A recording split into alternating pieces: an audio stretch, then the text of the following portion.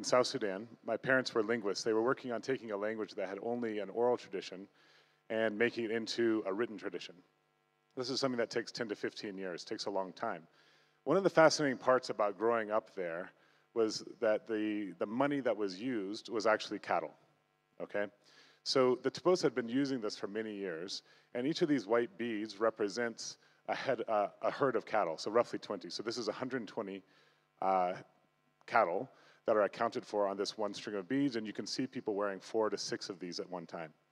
If you needed something smaller than that, you use goats. If you need something smaller than that, you break it down to beads. And then my sister and I, you see there pumping our water. My parents built this metal house that we lived in. Was, uh, you know, we didn't have electricity. We didn't have power.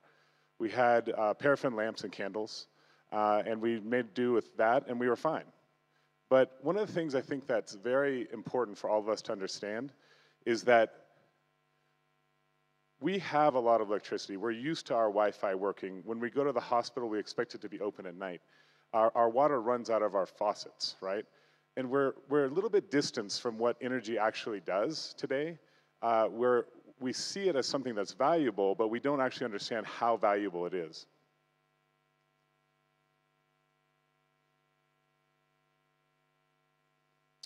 So the world's most foundational commodity is energy. Everything depends on energy in one form or another as a production input. By virtue of the proof of work model, Bitcoiners understand this. Bitcoin cannot be created or transacted without the expenditure of very large amounts of energy. So I did a quick calculation based on a 24 joules a terahash Bitcoin mining machine. It takes 914 kilowatt hours to make one Bitcoin. Let's make that real. What does it mean to you or I? Well, that same amount of energy would power would power different amounts of energy in different places in different homes, right? So in the US, it's very different than it is in Africa, than it is in Asia. The story of human progress is the story of energy. Energy is the base layer for all of this progress. It doesn't matter if it's healthcare or grades, education, it doesn't matter if it's security, it doesn't matter if it's productivity. Everything is built on this one main source. So there's this fantastic little video put together, a documentary put together by the BBC um, called The Human Power Station. I'm just going to show the beginning of it for you to understand what it looks like. Hello, welcome to a very special edition of Bang Goes the Theory. Now, we've put up this house outside our studio, and inside, a family of four are fast asleep, and they're here to take part in a massive experiment. The only thing is, they've absolutely no idea what that experiment is. In fact, we've genuinely no idea whether or not it's going to work. Liz, are we up and running in there? We are indeed, Dallas. We are about to do something that no one in the world has ever tried to do before. We're going to unplug that house from the main supply and try to power it in a completely different way. Welcome to the Human Power Station.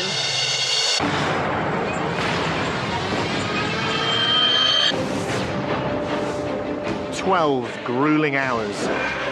80 human dynamos. But just one question. Can we really pull this off?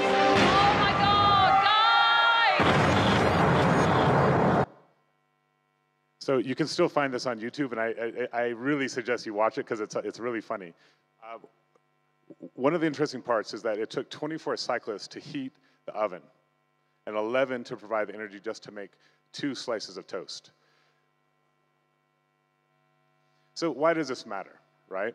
It matters because of this slide that we've seen many times before, right? Which is there's no such thing as a low energy rich country. If you do not have electricity, much of electricity for your population, you will always be behind those that do. And to give you real numbers on this, the US up in the upper right uses 5.5 times more energy than the whole African continent combined.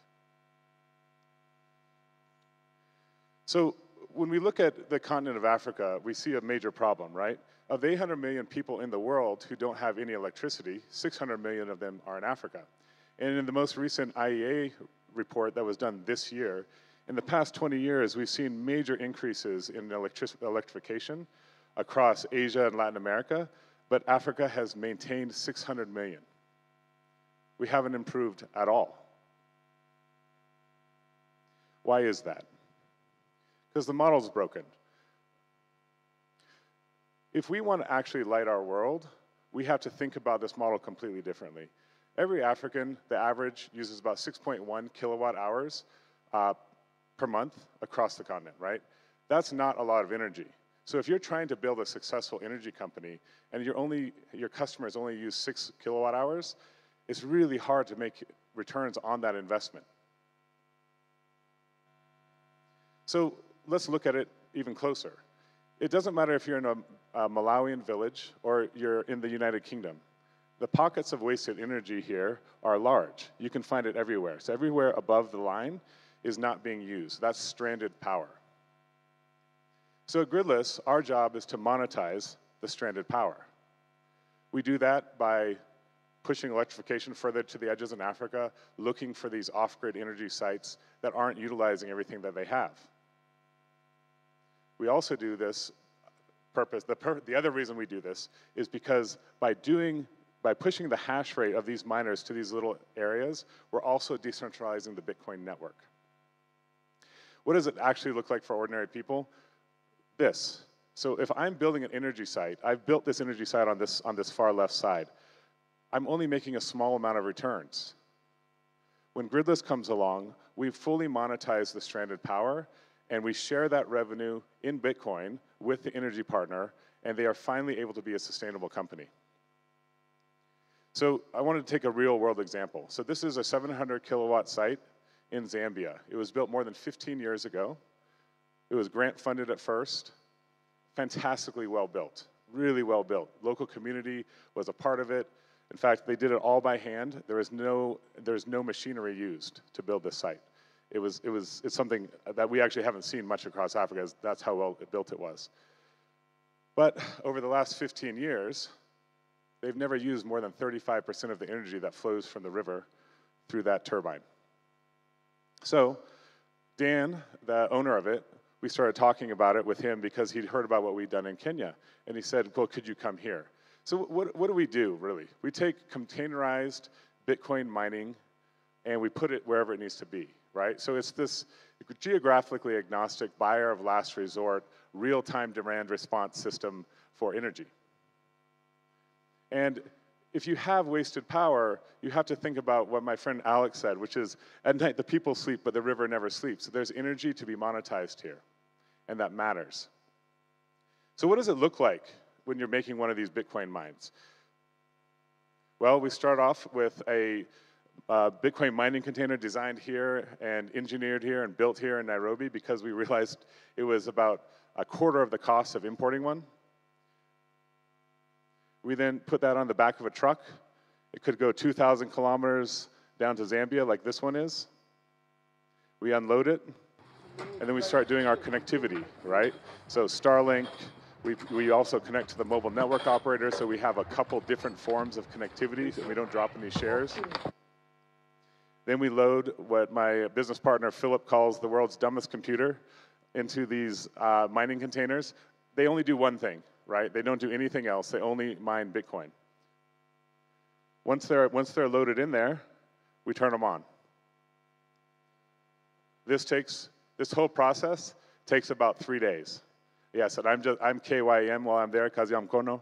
All I do is plug in things and carry heavy loads. By day three, you have a fully functioning Bitcoin mining container set up in this new site. And that really means something to the owner of this energy. Because that next morning, he picks up his phone, he makes Bitcoin. He sees it in his wallet, and he goes, We're having breakfast. There's nowhere to stay here, by the way. We're, we're camping on the side of the river. He looks at it and he's like, I just made money. It's like, Yeah, you get that every day. Every day, right? You're not waiting for somebody to make payments to you, it's coming. And, he's, and he looks up and he says, I can finally start thinking strategically about my business. I've never had enough money to even have my power line workers paid on time, and now I can. This is the power of Bitcoin mining in energy.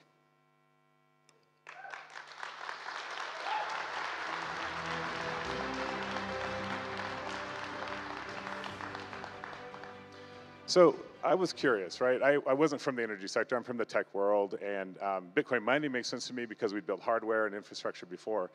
But I didn't know anything about energy when we started. So I, I read about 17 research papers on uh, airplane flights, which is the best place to do it. Um, and I wrote my own paper to make sense of it, which I called Energy and Bitcoin in Africa, right? And, and the basics of it is this, so you don't have to read it. It's, it's, it's, it's not important that you read it. What's important is that you understand the problem. The national power grids have gone about as far as they will go. The reason why is because the people who need energy now live in far-flung places and they don't have the population density to get a return on investment of ma major power grids. So the answer for this is through mini grids, small energy sites that can be put wherever they're needed.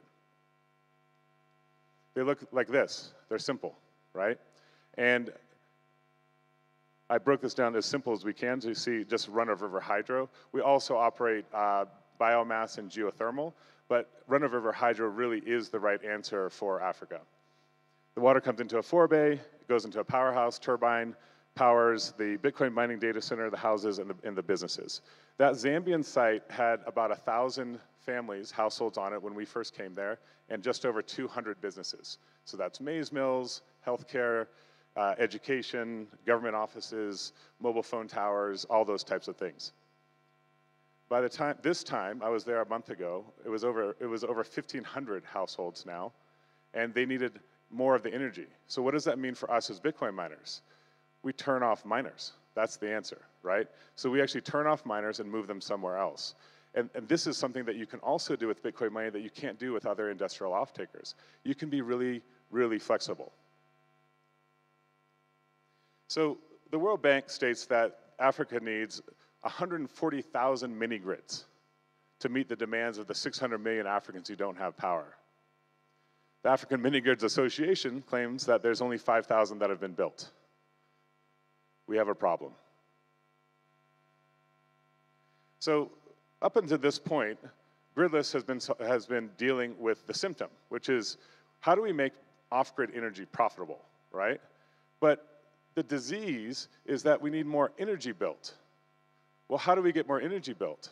Well, we need different types of financing because as you saw from that first chart, for 20 years, actually about 60 years, we have had the same model for energy financing, and we haven't hardly put a dent in the numbers.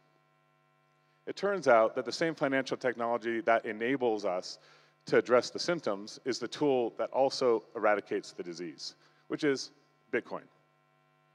In this case, we take Bitcoin and we make it into a financial reactor.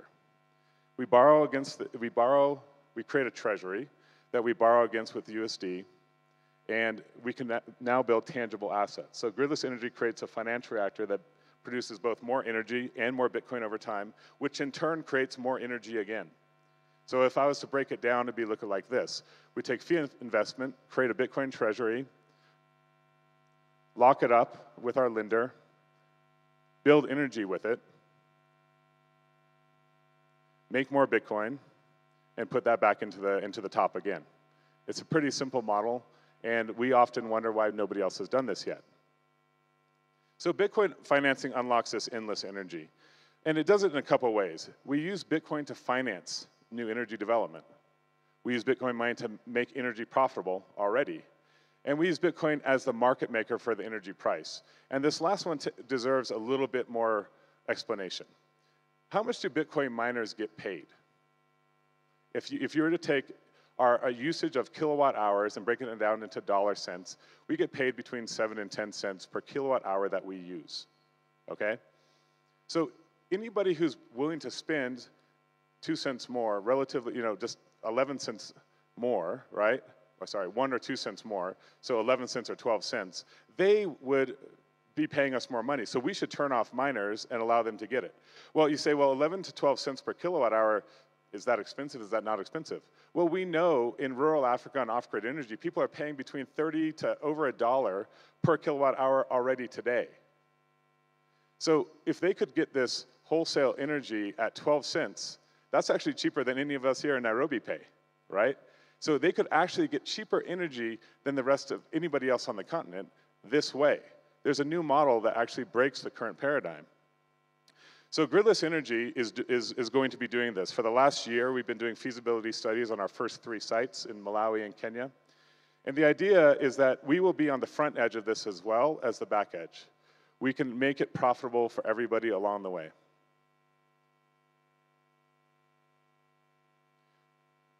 So one way that I like to say this to make it even more um, clear is that ten, in, in today's model, $20 million would build you 10 megawatts of power. And in 30 years, you'll still have 10 megawatts of power, unless you go raise more money. In the gridless model, where we build a treasury, $20 million converted to Bitcoin builds one to four gigawatts over that same 30 years. Key benefits, real Bitcoin returns. Thank you. But I don't care about the Bitcoin returns as much as I care about the model being seven times more capital efficient in 10 years and 148 times more capital efficient in 30. And these are 50 year assets, just so you understand. So, why is this important? The economics are just unequaled, right? Sure. But for Bitcoin, it matters because it decentralizes the Bitcoin mining, right? We're moving into small scale mining happening all over the place. Now, this is already happening, but we need to have, see more of it. And instead of having these, these large 100 megawatt, 200 megawatt Bitcoin mining farms, we can have one to three megawatt Bitcoin mining farms spread across 100 countries. What it does for energy is we can finally make it profitable, sure, but we can also make it, uh, we can make it a new future for Africans where we can have more reliable power in the places where people live. And for Africa, it just means that we can finally put a dent in that $600 million, 600 million figure. So there is a near unlimited supply of energy to be developed in the one place on earth that needs it most in Africa. And Bitcoin is what, is what unlocks it. Thank you.